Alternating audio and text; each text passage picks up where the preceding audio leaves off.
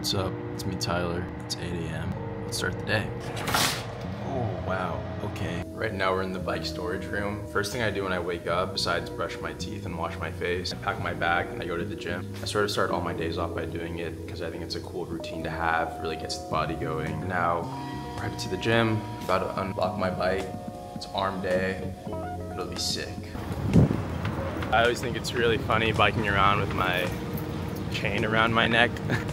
Feel like I look like a, a real biker.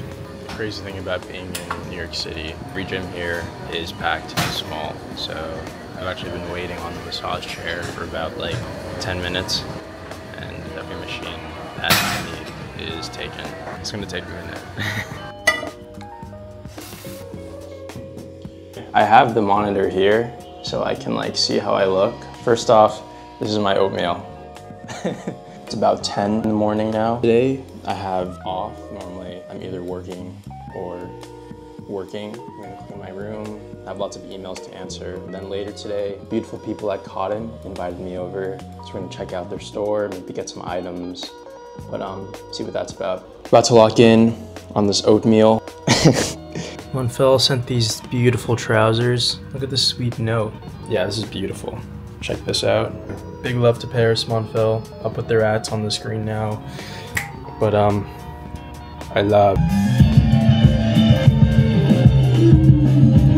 Not ready for that. We're here at Cotton. I filmed a lot more content on my iPhone, so I'll probably make a more full TikTok about it. Got these very wide pleated pants matched with one of their cropped tops. I like the boxy feel. Put my hands up. Girls look crazy today.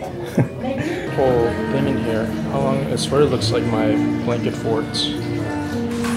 I made my world famous pasta uh, working on this one demo that I did this morning. It was amazing being at the cotton store. The staff was so nice. Shout out James, shout out Ray. Looks like like it's like sparking down. It's like God sent.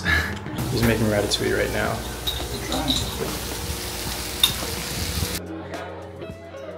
Look at us.